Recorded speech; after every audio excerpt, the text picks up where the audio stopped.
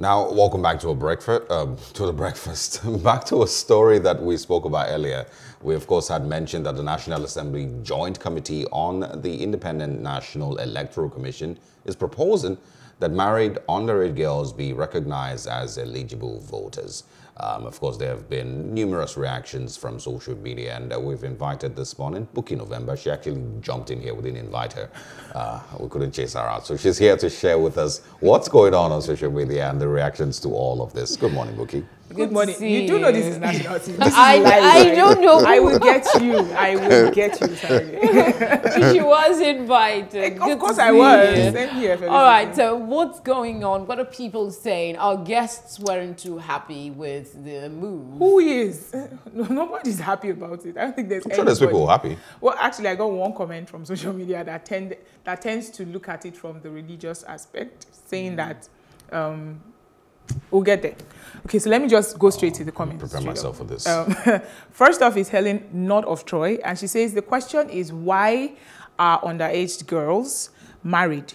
Why are their husbands not being prosecuted?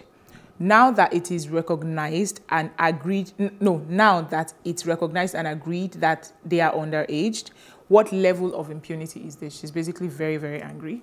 Um, quickly, next one is a guy called, uh, goes, his handle is Pedical on t- Twitter, and he says, underage girls, most of whom are forced into marriages, would not have the ability to make their own decisions. Most of whom do not say, do not have a say in their communities. Are, the, are these the people whom the National Assembly thinks should be given the power to make important decisions on governance?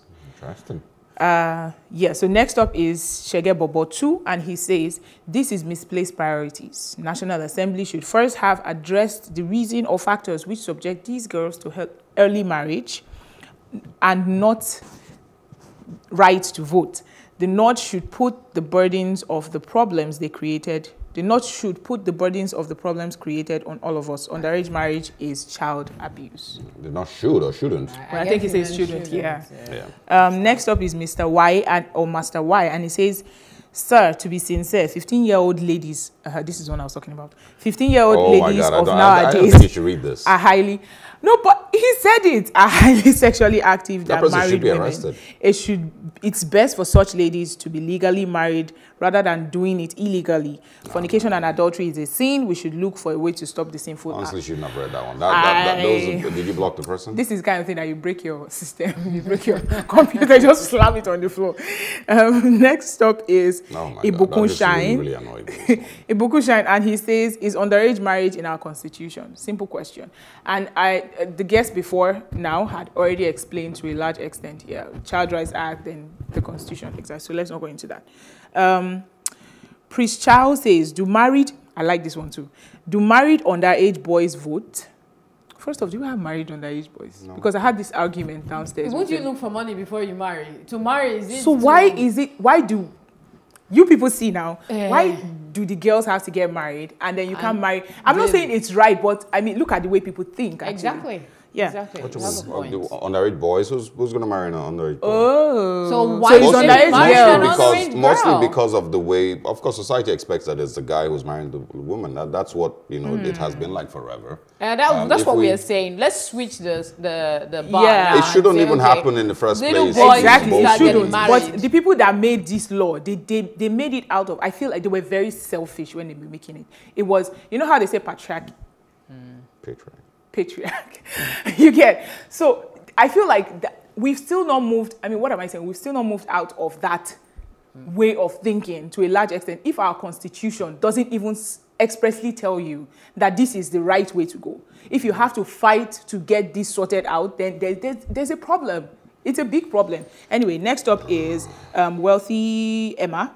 And she says this is completely another ploy to get undue advantage in the voting process. The title should not have been, the title should have been Northerners want the right for underage marriage girls, married girls, because they know such obnoxious practice is prevalent in their climate. Basically saying that they want to use this to just manipulate the elections come 2023. And finally, Elvis Bokoa says, when we should be passing bills for innovation, scholarship, and abolishment of child marriage, here we are.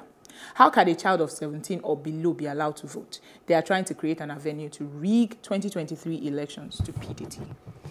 Yeah, Well, honestly- apparently, this is not sitting well with a lot of Nigerians. And the most amazing part for me, like I said earlier, was the is the fact that it is our lawmakers who should be championing something different, that are championing underage girls becoming voters. I mean, to make a voting choice, you have to have a level of maturity. Mm-hmm. You have to know what are the things that you need. What are the things that your society needs? You know, we, being a wife is not you know, a wisdom basket that gives you all the wisdom that you need to know which action to take or which action and, not to and take. being sexually active doesn't give you sense. Anybody can It's be not- sexually It's not the license to have I'm sex. really, I'm really um, annoyed, you know, with the person who said, "Oh, 15 year No, olds." but he, are- he, are- he, he has it. He has his point. He's speaking from his own perspective. There are young people who are sexually active um, at a very young so age. So there should be more men in jail.